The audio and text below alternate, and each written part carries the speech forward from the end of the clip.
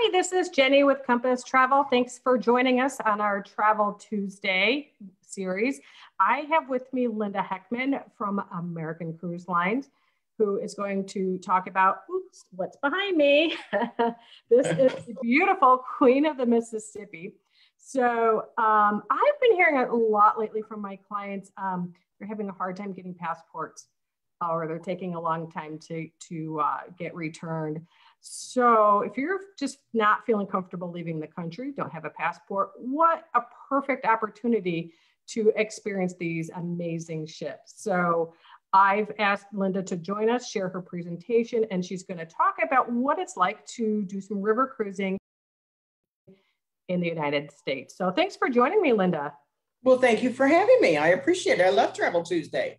Yeah, this is so much fun. I and the best part is I get to meet so many different people and talk about so many exciting ways to travel and see the world.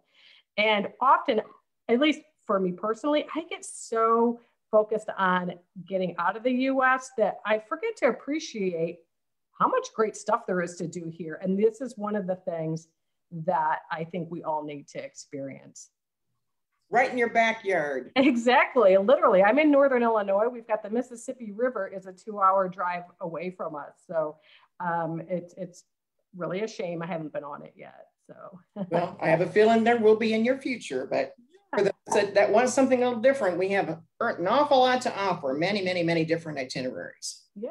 Well, I'm going to have Linda share her screen and start showing off some of these um, great slide she's got here. There we go. Are you ready? Okay, let's go. All right. So, well, thank you everyone, and thanks for joining us.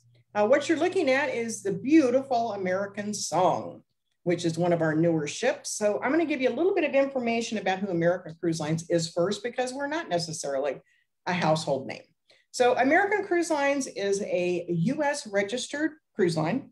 We are headquartered in Guilford, Connecticut. We are privately owned and held by a family in Guilford, Connecticut. Uh, currently have a fleet of 13 ships, soon to be 14 next month. So being US registered means several things. Uh, number one, it means that we are required by law to have ships that are built in the US. In other words, an original US hull of a ship must be used to be US registered. Luckily for us, we own the shipyard where all of our ships are built. It's on the Chesapeake Bay in Salisbury, Maryland, and we do build all of our ships there. The other thing that's required by law is that we must have a minimum of 75% of our crew to be US citizens. We choose to do 100%. So all of our deck and engine staff, all of our hotel staff on every ship and every sailing are US citizens. And the other thing that's required by law is that we are not allowed to call outside of the US, which means that we don't go to Canada. So when uh, Canada closed its borders to US and in Alaska in particular, and we do sail to Alaska, it did not affect us because we don't go to Vancouver anyway. So without further ado, I'm gonna show you some wonderful pictures of beautiful places that we travel get your map out and start making that bucket list because you're going to find some things you're going to want to see. So here you go, over 35 itineraries in 31 states in the US. So everything from New England all the way down to the Great Rivers of Florida. If your bucket list includes that 3,000 mile journey on the intercoastal waterway from upstate New England all the way down to Florida, we can make that happen for you. Across the Ohio River and the Cumberland River, both portions of the upper and lower Mississippi, the entire length of that Mississippi River is 21 nights. The lower Mississippi is the most popular itinerary we have, and that is done either round trip from New Orleans or one way Memphis to New Orleans or the reverse. Out west, we're doing the beautiful Columbia and Snake River Valley that is from Portland to Spokane or vice versa beautiful San Juan Islands and Puget Sound we do from Seattle. That's an amazing itinerary. And Alaska, we're doing Southeast Alaska and we do it from Juneau. And these are some of the wonderful itineraries. The Maine coast and harbors incredibly popular itinerary from Portland, Maine. And by the way, keep in mind that we're in these places when the weather is the best. So we're not in Portland in January. We're going to be in Portland now when it's lovely and you can have a clam bake on the beach. And there's your beautiful New England cruise. That one happens to be from Providence, Rhode Island. The Cape Codder is a new itinerary for us out of Boston. Also, again, amazingly popular. P-Town and Hyannisport, as well as Martha's Vineyard and Newport and uh, Rhode Island are all on that itinerary. Beautiful, quaint little villages in New England. The fall foliage cruises are done on the Hudson River. And as you can see, this is from New York City all the way up to Albany. We do visit West Point and we do visit Sleepy Hollow. The foliage is amazing. And these are amazingly popular itineraries any time of the year, but particularly now when people are trying to stay closer to home. This is our Grand New England cruise from Boston. That's a 10 night sailing and goes all the way up into Bar Harbor, Maine, and then back down to Newport, Rhode Island. Again, lots of lobstering, lots of clam baking, wonderful itinerary.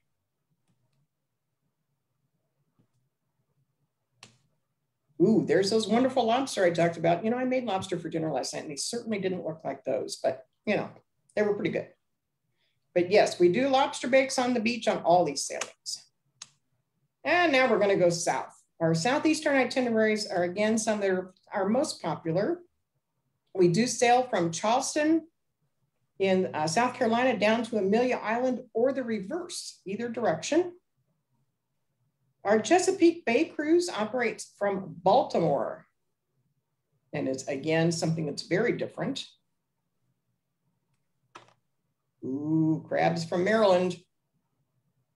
Fabulous, those crabs are wonderful. Little messy to eat, but well worth the work. And this is a mid-Atlantic inland passage from Baltimore to Charleston. It's a great itinerary, totally different.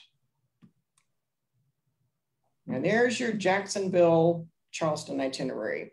This is Savannah that you're looking at, a picture of the squares in Savannah, which are just beautiful. It does call in St. Simon Island as well as Hilton Head as well. Want to go touch a manatee? The Great Rivers of Florida. And yes, you will get close enough that you can almost touch that manatee. American Revolutionary Cruise is one that is, believe it or not, amazingly popular, which I think is wonderful. We do go to Mount Vernon as one of the shore excursions on this. And for the first time in 40 years, there will be a cruise ship docking in the nation's capital. When calls have been made prior, they've always gone to Northern Virginia, to Alexandria, Virginia, which I used to live in Alexandria. Uh, they are not going to call in Alexandria this time. We are actually going to dock in Washington, D.C., right next to Nationals Ballpark. And very excited about it. And like I said, it's the first time in 40 years that there's been a cruise ship so this is a little trip down memory lane here for the American Revolution.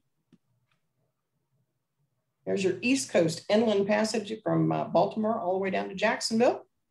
That one's a little longer cruise, 10 night. The famous Mississippi River. Now what you're looking at here is Houmas House. And Houmas House is a plantation that is outside of New Orleans. It's a beautiful place to visit uh, buy some wonderful honey, and they have a lovely gift shop with some books and things of that nature. At Christmas time, this place is decorated to the nines, and it is absolutely wonderful. There's the Big Easy, round trip New Orleans. So your New Orleans cruise begins with one night pre-hotel stay at the Intercontinental on Poydras Street, which is not far from the Superdome. And you spend one night there, and then we take you over to the ship the morning of the cruise where you'll have lunch and then we'll set sail. And this is a wonderful place to visit. You will learn lots and lots and lots about the Civil War and the battlefields. You will visit the battlefield at Vicksburg and you will completely understand why the Anaconda Plan worked for the fall of Vicksburg. And by the way, Vicksburg was being fought at the same time as Gettysburg. This house that you're looking at is called Oak Alley. And you'll see those beautiful trees. Those are live oak that line the entryway up to this beautiful plantation, which was at one time so in disarray, literally the walls had been broken through and there were cows living in this house. It's been completely restored and it is magnificent. Now this is one-way itinerary, Memphis to New Orleans or the reverse. So you can do this itinerary either way. You don't miss anything, just depends on if you want to stop and see the king in Memphis uh, before or after your cruise. It's entirely up to you, or if you'd rather go round trip New Orleans and uh, eat some jambalaya on uh, Bourbon Street. This is the entire length of the Mississippi River from the Twin Cities down to New Orleans, again, or the reverse. You can do it either way. 21 nights. Now, the river is dramatically different, by the way, from the top to the bottom. So, when you've got all that wonderful uh, land at the top that's rich and uh, prairie like, so to speak, and you come further south and you're going to get into the wonderful part of the Mississippi River that everyone's so known for when you see all the barges bringing the grain and so on and so forth. This is uh, one of the um, shore excursions, and it's in Iowa, the fort in Iowa, and that is included, by the way. Music City's cruise takes place between Memphis and Nashville. That is obviously Beale Street in Memphis, and it is a great itinerary. Uh, it is a wonderful place to visit, entirely, entirely different. Kentucky Lake is on there. I happen to live in Kentucky. It's a wonderful part of the country. Now we are able to bring the ship all the way into Nashville. We do not have to stop in Clarksville. We can make it under the bridge and we come all the way into Nashville and we dock at the base of Lower Broadway, which is right where the um, hockey team plays. Nissan Stadium, that's the name of the stadium there. So we dock right there, which means if you want to do some honky tonkin', and by the way, there I understand they're going to open up those honky tonks again in about a week or so. Uh, you can just walk right up the street to the Country Music Hall of Fame and visit old Toby Keith and some of those wonderful honky tonks that are up and down Lower Broad. This is a really fun itinerary. St. Louis down to New Orleans. This is the middle section of the river, shall we say with the uh, trip to the Arch, if you want to go up in the the uh, St. Louis Arch. It's an interesting trip if you've not ever done it. I've been up in the top of the Arch, and it's kind of a trip getting up there, but it's fun, and you can get a wonderful view from the top of that arch. I'm not sure why it's telling me my battery's low when I'm plugged in, so hmm, who knows. anyway, um, the upper Mississippi River again from the Twin Cities down to St. Louis is the first seven night section if you're going to do the entire length, the first portion from the Twin Cities down to St. Louis. The Cumberland River, here we go again, St. Louis to Nashville. See what I mean? We're not just Mississippi River. Just pick your itinerary, pick where you want to go that's one of the comments we have is there's there's just so many to choose from. So how do we choose? I know. The Ohio River takes you from St. Louis to Pittsburgh. So if you want to stop in Churchill Downs and go to the museum at Churchill Downs in Louisville, you can certainly do so. We also call in Cincinnati so you can get some of that good chili at Skyline if you're interested in doing that. Now we're going out west. That is Mount St. Helens with their top blown off. And that is one of the included shore excursions is the visit to Mount St. Helens. This is the Columbian Snake River. There you go. Portland to Clarkston, Washington uh, is where the ship actually stops. Spokane is the closest big air service on that end of the cruise. And you can go either direction, Portland to Spokane or vice versa, whichever works for you. It is the beautiful wine region of Oregon and Washington. It is absolutely gorgeous out there. Um, I picked out real estate both times that I've been on the ship out there. It's just a lovely place to visit, just beautiful. Astoria is on there, which is named after John Jacob Astor. He owned a fur company out there. So Astoria, Oregon is named after him. This is the last leg, by the way, of the Lewis and Clark journey. So you will learn lots and lots and lots and lots about Lewis and Clark. And from Seattle, I mentioned this before, this is the beautiful Puget Sound and the San Juan Islands. It is absolutely glorious, just beautiful. In the springtime, uh, early May or early to mid-May, when this itinerary is being done, the tulip fields are blooming and they will take your breath away. They are just gorgeous. And now Alaska. So we are one of very few companies that were able to start our Alaska season. We did start it in uh, June, end of June. We will end at the end of August. We do sail round trip from Juneau in southeastern Alaska. It is a, an amazing itinerary with wonderful shore excursions. And there's the itinerary. So you're going to board in Juneau. There's one night pre-cruise, by the way, in a hotel in Juneau that's included. Glacier Bay for a couple of days. It's quite lovely. It's a 175 passenger ship. So imagine the beauty of being on this small ship when you can get into some of these small places that others can't. And this one's a little longer. That was a Seattle to Juneau. It's a 10 night sailing.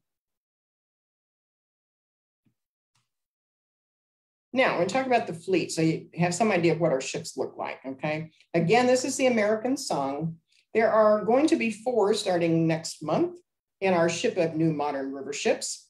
They are no larger than 190 passengers when they are full.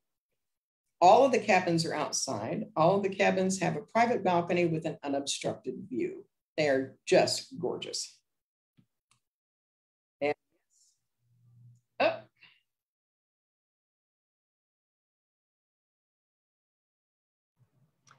Sorry about that. It looks like Linda's battery did uh, end up dying. So um, I'm not sure if she's going to be able to join me um, back in on the presentation.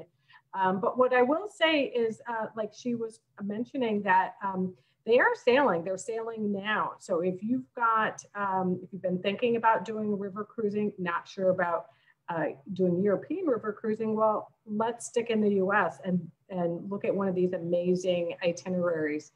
Um, you can give me a call um, at the office. That would be 815 756 1547 to Compass Travel or send us an email at info at travelwithcompass.com.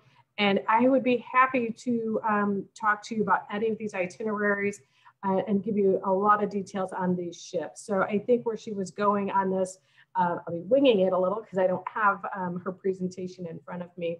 But um, you know, you've got the standard um, Queen of the Mississippi behind me here. Uh, well, nope, that one says the America on it. Sorry about that. But there's similar ships. Um, the Queen of the Mississippi uh, is having its 10th year anniversary this year, um, but they're small size. So you're not going to be on a big cruise ship with a thousand people or you know thousands of people. Um, these are really nice sized ships.